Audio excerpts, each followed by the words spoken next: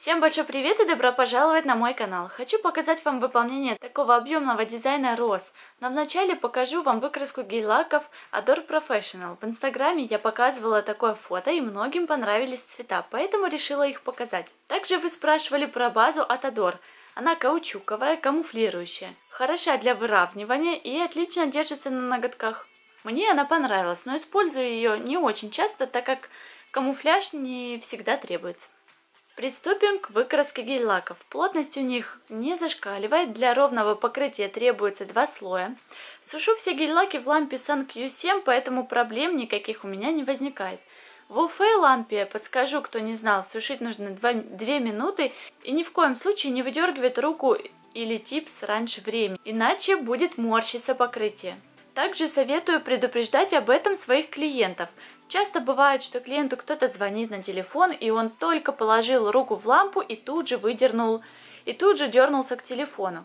Верхний слой успел сполимеризоваться, а нижний нет, поэтому гель-лак морщится. Для этого стоит наносить более тонкий слой, чтобы в маломощной лампе гель-лак высыхал быстрее. С LED-лампами такое случается, конечно, редко. Поэтому, когда отправили гель-лак сушиться и ультрафиолетовый свет уже попал на гель-лак, зацепились, вы дотронулись или еще что-либо, не вынимайте ее из лампы, до истечения нужного времени. Проще поправить на высохшей поверхности, чем все заново переделывать, если он сморщился. Если же все делаете правильно, но все равно такое происходит, скорее всего ваша лампа недостаточно мощная для просушки пигментированных гель-лаков. Это новые оттенки фирмы Ator, ссылки, где их можно приобрести, будут в описании под видео. А это гель-лаки той же фирмы, которые у меня уже были. Ссылку на видеообзор этой коллекции я оставлю в описании. Вот эти оттенки я буду сейчас использовать в дизайне для создания объема. В качестве подложки нужно взять темный цвет. Я использую номер 151. Достаточно будет в принципе одного слоя. На палитру ставлю по капельке цветов, которые понадобятся. Их номера я вам показывала чуть-чуть ранее. Теперь я рисую красным цветом пока что обычную трафаретную розу. Чем дальше от серединки располагаются лепестки, тем шире они должны быть. Можно делать промежуточную просушку, чтобы лепестки сильно не растекались но если они немного пересеклись, это не страшно.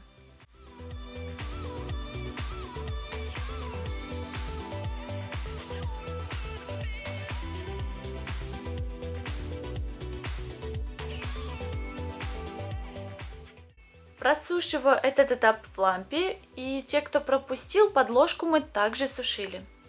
Беру цвет посветлее и прорисовываю им, выделяя один край каждого лепестка – в бутоне обычно серединка затемненная, так как он закрытый и свет практически не попадает, поэтому больше света я ставлю на крайние лепестки. Хорошо растушевываю и сушу в лампе.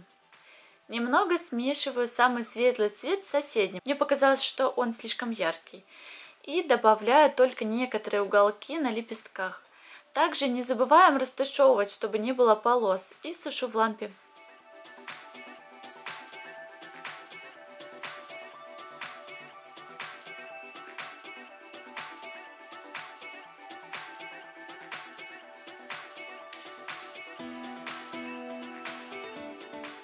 белый я также чуть-чуть добавила цвета и рисую контур. Не сплошной линии, только в некоторых местах.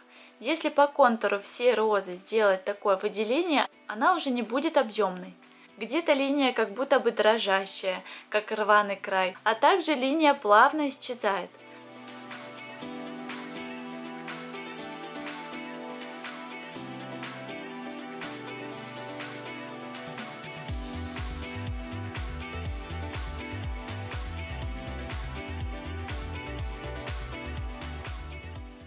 Сушу в лампе. Перекрываю топом. Топ у Адор также каучуковый с липким слоем. Оставляет красивый блеск. Можете его увидеть в видео про сравнение всех топов, которые у меня имеются. Один типс я перекрыла матовым финишем. И вот такую объемную 3D розу мы получили.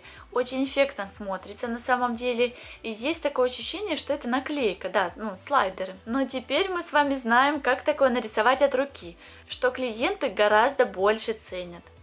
Я надеюсь, это видео было вам полезным для вас. Ставьте за него пальчики вверх, подписывайтесь на мои соцсети. Всем до скорой встречи. Пока-пока.